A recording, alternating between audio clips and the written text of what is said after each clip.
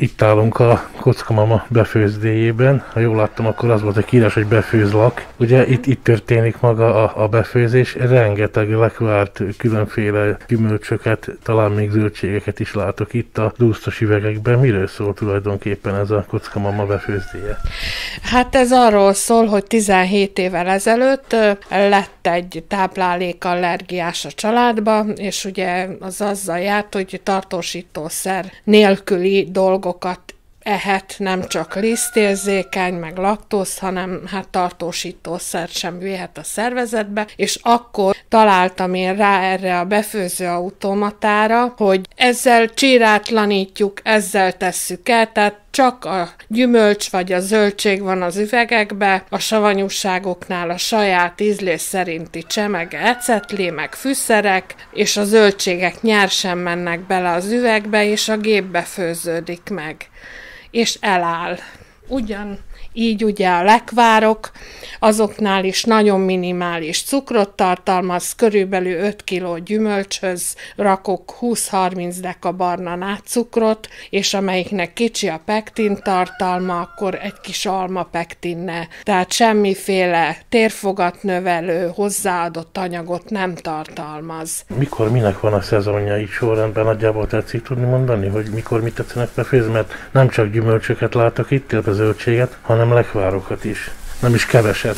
Ez májustól kezdődik, ugye májusba a cseresznyével kezdem. És akkor utána, hogy jönnek sorba a gyümölcsök, például a málnám is az folyton termő, tehát az júniustól egész még most novemberig be is szedhető. Azt folyamatosan, ahogy érnek a gyümölcsök. A, a lekvár befőzés az mostanság van ilyenkor, vagy pedig az is nyáron? Hát az is nyáron, de viszont ugye van egy nagy 200 literes fagyasztóládám, hogy amit ugye párosítok gyümölcsöket, a málnát, a cseresznyével vagy a meggyel, akkor hol az egyiket, hol a másikat ugye lefagyasztom, és akkor későn szedem elő. Tehát ugyanaz a íz hatása van, meg, meg a lekvárnak is, szörpöknek is, hogyha lefagyasztom az egyik felét. Mert ugye hát nem egyszerre érik minden gyümölcs.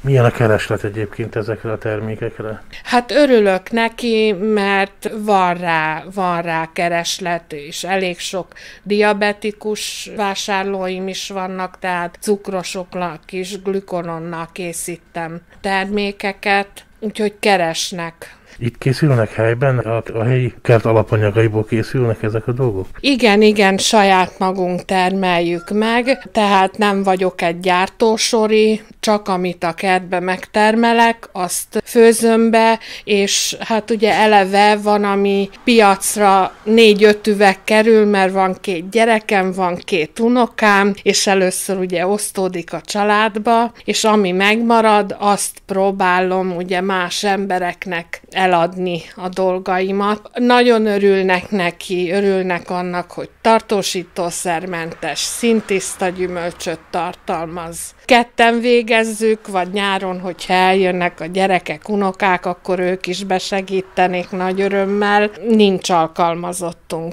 Mik azok, amik megteremnek ebben a kerben, miből készülnek ezek a befőttek? Málna, ribizli, berkenye, fekete szeder, áfonya, alma, körte, cseresznye, megy.